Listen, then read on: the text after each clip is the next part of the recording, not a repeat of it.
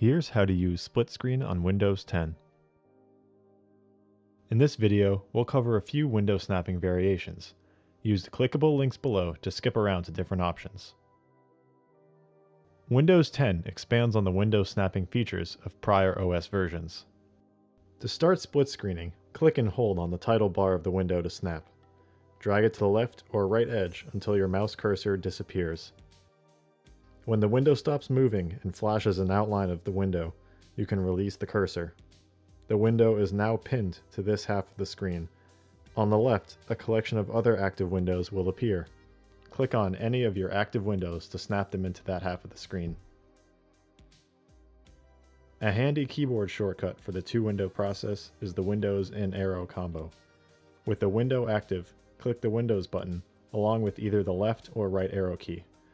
The window will now automatically take that half of the screen. Repeat that process with another window on the opposite side, or click one of the options that appears. You can do three or even four snapped windows as well on a larger monitor by dragging into corners. Take a window and drag via the title bar like before, but instead bring it to a corner of the screen. As this window is now snapped to a corner, you can take another window to fill the space below.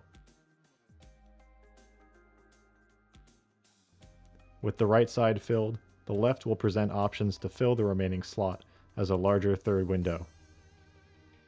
If you'd like to add a fourth from here, take that left window and drag it into a corner, like earlier. Then fill the final space with your fourth window.